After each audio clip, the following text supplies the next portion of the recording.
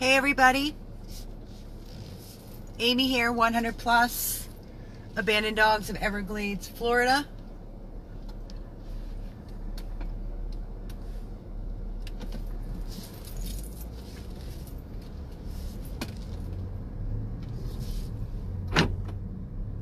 I'm driving. I am in between. I just left the rescue house about half an hour ago. Um, came home and then I got a call from our wonderful friend um, and supporter Robin who takes Albert home um, in the evenings to give him a break. So uh, she's about 10 minutes away, so I'm running back to open up and let Albert get out um, and give him a break and uh, hand him off to Robin, where he gets to sleep all cozy with a person instead of being in that room alone. So my phone is um, hands-free. I have a little um, gadget on my dashboard, so don't worry. Um, I'm focusing on the road. But I wanted to take this opportunity to update everybody on uh, Miki. Uh, as you know, we rescued Miki from the Miami-Dade Animal Services kill shelter yesterday. He was to be killed at 5 o'clock last night, uh, paralyzed, uh, in excruciating pain, along with the dog Missy that we rescued. Missy's doing great, other than needing a dental, a couple of extractions. Um, she's fantastic. So, two amazing saves yesterday. Um, I'm very proud of our team. Uh, we were not we were not prepared to take on uh, a high case, um, high expensive case for as a Miki. Um, we rushed him to Coral Springs yesterday, where uh, we were hoping the neurologist was there because they have one and they have an MRI, but unfortunately, they did not have uh, a neurologist over the weekend, and that was the only person that could actually do the MRI. Um, so I immediately was spinning and spinning, and I reached out to Dr. Wong's office in Miami. Sorry, speed bump. Um, and I got us in today at noon uh, with Dr. DePompa, who I adore and respect. He's done two surgeries, great success. Um, they immediately brought him back, uh, got him on pain management because he was in horrible pain. They did not give him pain meds this morning from Coral Springs because they didn't want to do anything. They knew he had an appointment. Um, so he was in excruciating pain. Um, and they rushed him back to do the MRI. Immediately, they found he had a ruptured disc between T11 and T12.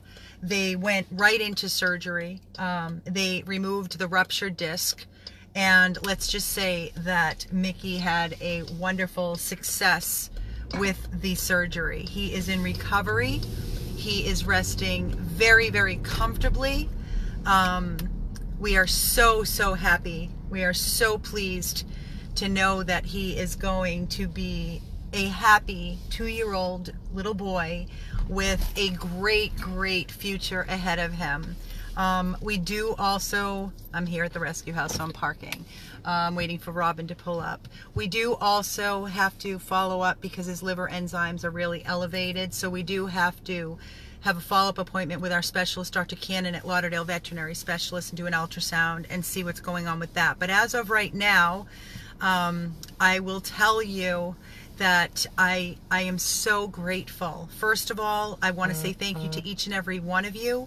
You guys rock like I can't even put into words. When we beg and plead, you are right there for us. Whether it's a dollar, twenty, two hundred, five hundred, um, I can't say thank you enough to each and every one of you. And I really hope you understand when I say thank you how much I mean um, with those words because they're not just words. Um, knowing that this little boy Miki is not dead in a body bag, as Tiffany was explaining, because that is truly where they end up in a landfill.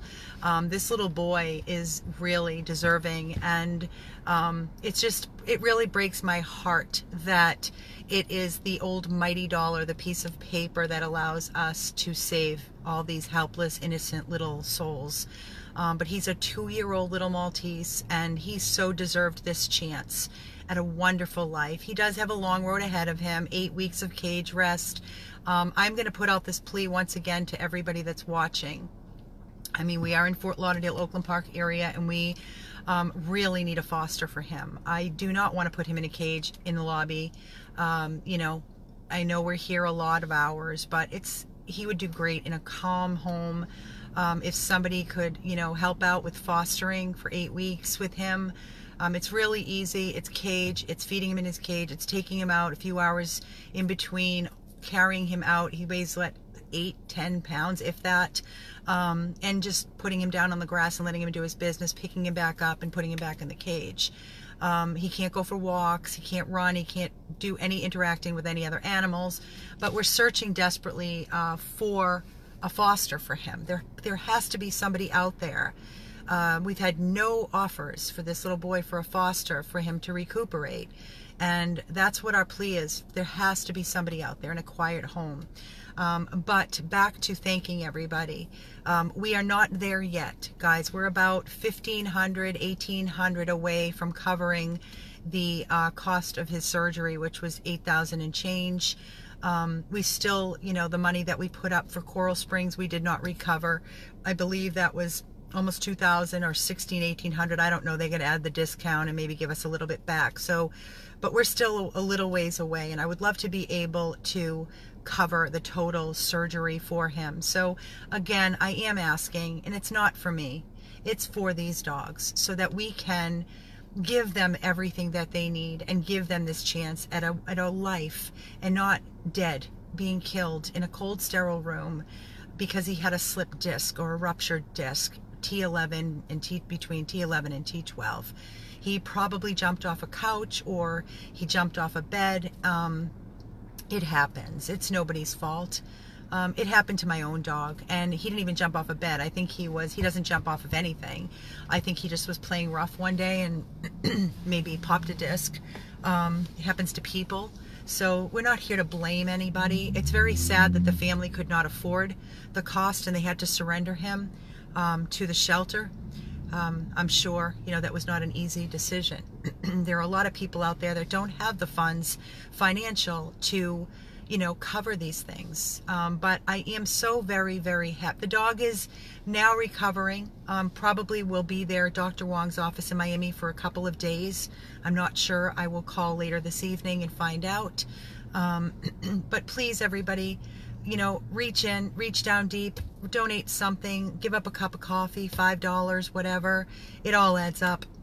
I got an envelope today, an envelope from a woman with $2 in it, two bills.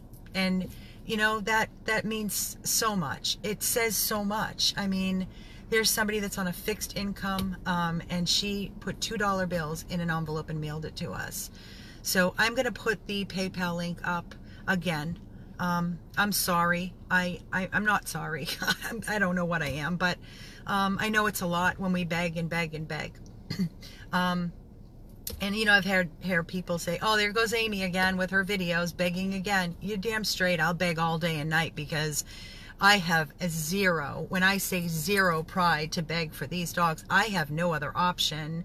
There is not a money tree hanging out our rescue house, and there's not some rich person that is offering us thousands and thousands of dollars to cover the cost to save these lives. So I have nobody else to ask but you. You are our family. You we're a village and together we are making such a difference in so many lives over 4,000 to be exact.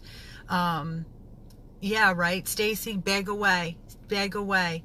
Um, Cindy Bear. Uh, she had her, she said her daughter had to put her dog down because of a ruptured disc. So Robin's here. I'm going to go in and I'm getting Albert, breaking him out. Um, but I wanted to update everybody. I'll put the PayPal link up. And again, thank you. Miki is great so far. Let's keep those prayers coming, the donations coming for Miki. And please, please, please donate what you can. Love you guys so much. This is Amy signing off 100 plus abandoned dogs of Everglades, Florida thank you so very, very, very much. I can't thank you enough.